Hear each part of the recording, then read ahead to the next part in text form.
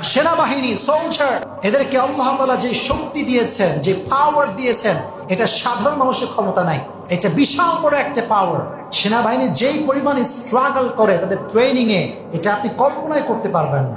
Helicopter থেকে jump করতে হয় প্যারাসুট জাম্প করতে হয়। তা আমি দেখতে পেলাম যে সেনাবাহিনীদেরকে একদম তিরিশ কেজি ওজনের একটা গাছের টুকরা কাঁধে দেওয়া হয়। এবং এটা নিয়ে দশ কিলোমিটার পাহাড় উঠতে হয়, তিরিশ কেজি ওজনের গাছ নিয়ে। আপনি পারবেন? কখনো পারবেন না আপনি এটা। এটা, এটাই হচ্ছে মেসেজ যে আল্লাহ সবাইকে সব কোয়ালিফিকেশন দেন নাই।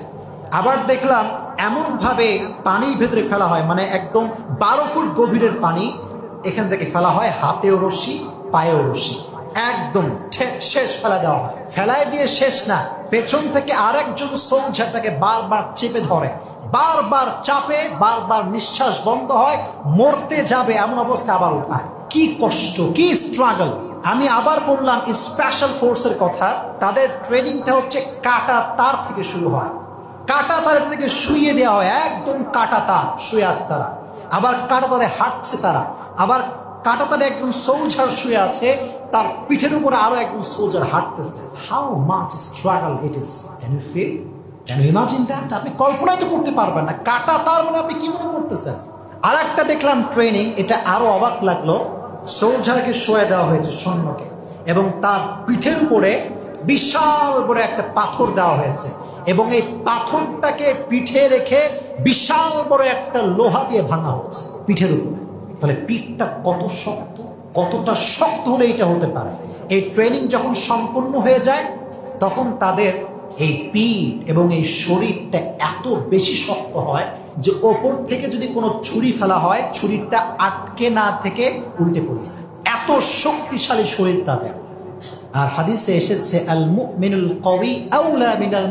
যায়ীফ একজন শক্তিশালী ইমানদার, একজন শক্তিশালী মানুষ আল্লাহর কাছে দুর্বল মুমিনের চাইতে উত্তম মুমিন। সুবহানাল্লাহ পড়ে। আমার সঙ্গে অনেক আর্মির সম্পর্ক আছে। অনেক কল দেয়, অনেক ভালোবাসে। আমার একজন আর্মি কল দিয়ে বলতেছে, হুজুর, এটা ভালোবাসা থেকে বলতেছি।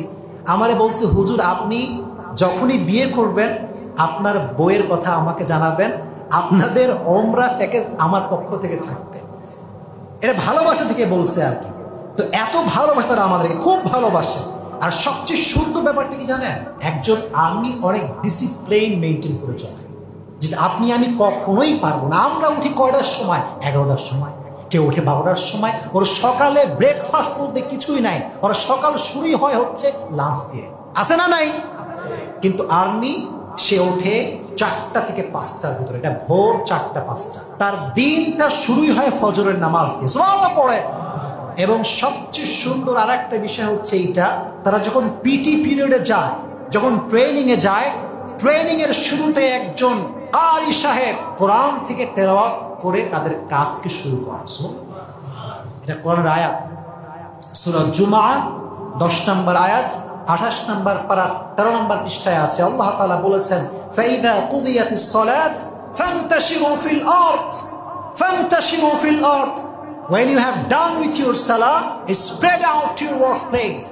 যখন তোমার নামাজ শেষ হয়ে যাবে, তুমি তোমার রবের দেওয়া নিয়ামত তালাশ করতে, রিজিক তালাশ করতে বের হয়ে যাও। সুবহানাল্লাহ, পড়ে। এটা কত সুন্দর একটা আয়াত। তো আর্মি এত স্ট্রাগল করে RAB BDR police fire service really we are proud of them আমরা গর্ব করি তাদেরকে নিয়ে। এবং আমি যুবকদেরকে মোটিভেট করি, যুবক, তোমরা যারা জীবনে খুব হতাশ, কিচ্ছু করতে ভালো লাগে না, প্রতিজ্ঞাবদ্ধ হও যে আমি দেশের সৈনিক হব পুলিশ হব, আর্মি হব, বিডিআর হব, র্যাব হব আমি। এই বাংলার মাটিতে যেখানে যোগ্য মানুষের দরকার, সেখানে সব অযোগ্য নেতা বসে গিয়েছে, কথা বলেন ঠিক কিনা? এটাকে রুখতে হবে তোমাকে। তোমাকে রুখে দিতে হবে। কীভাবে রুখবা?